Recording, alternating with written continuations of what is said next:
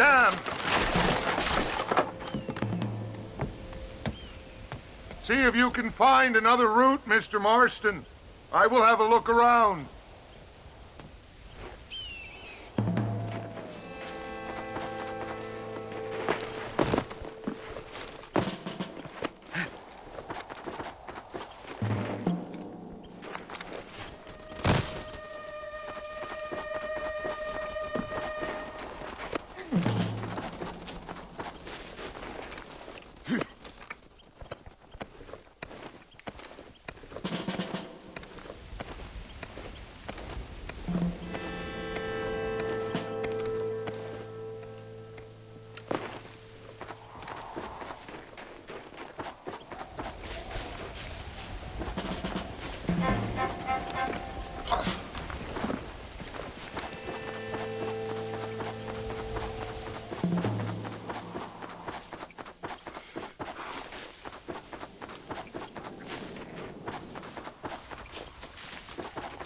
I think there's a path through this cave.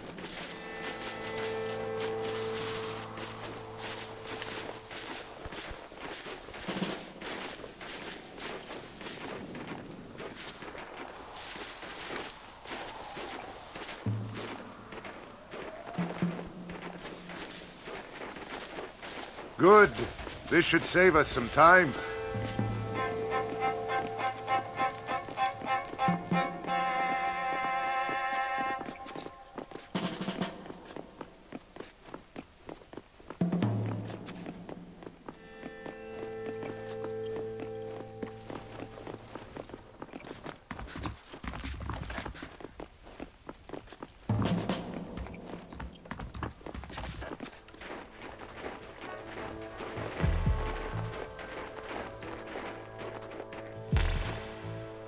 This way!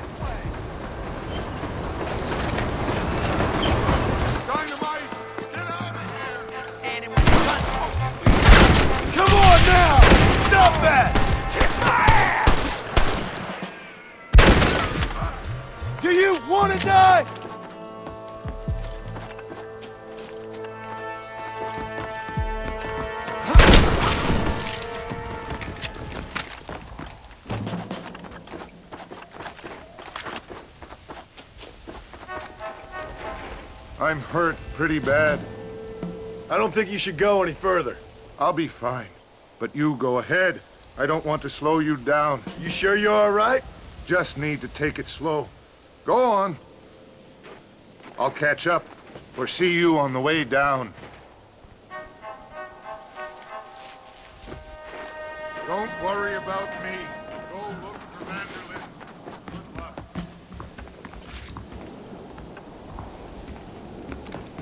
Go on. You don't want to miss your chance. I'll be fine.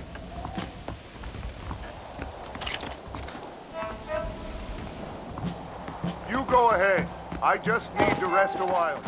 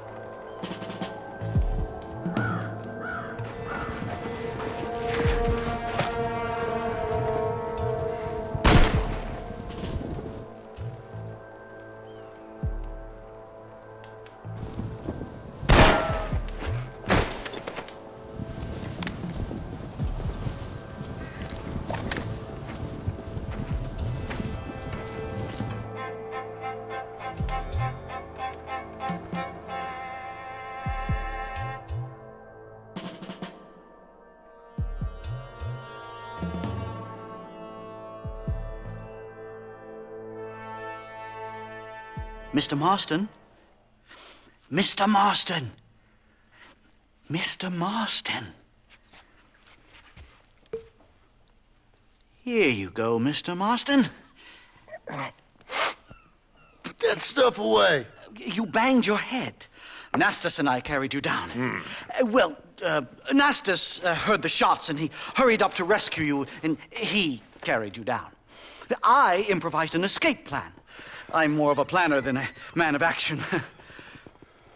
Thank you, gentlemen. Friends of mine are with van der Linde. we must try to reason with them, sir. van der Linde's gang contains several natives. We must meet with them and try to save them from disaster. My people have already endured many disasters. Before, this was all our land. And now we have brought you civilization. Well, sure, it hasn't been easy, but it hasn't been easy for anyone, Nastas. Why, I knew a man in Yale whose father once shot 18 natives in one afternoon out in Wyoming. Oh, the man was quite, quite traumatized. He took to lying with choir boys. For a wise man, you are a very stupid man, mister. Gentlemen, I'm gonna leave you to figure out right from wrong. You are simple minded, sir. Thus, I do not blame you for not understanding reason. Then again, Well, love